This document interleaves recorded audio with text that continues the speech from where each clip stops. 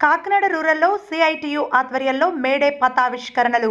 Kakinada rural May ఒకటి ప్రపంచ కార్మిక దినోత్సవం మేడే సందర్భంగా కాకినాడ రూరల్ మండలం పలు గ్రామాల్లో గ్రామ పంచాయతీ వర్కర్స్ యూనియన్లు భవన నిర్మాణ కార్మిక సంఘాలు ఆటో యూనియన్ల ఆధ్వర్యంలో అరుణ పతావిష్కరణ జరిగాయి.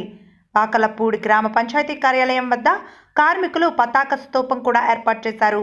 ఈ సందర్భంగా చంద్రరావు చిరంజీవి తదితర సీనియర్ వర్కర్స్ అరుణ పతాకావిష్కరణ చేశారు.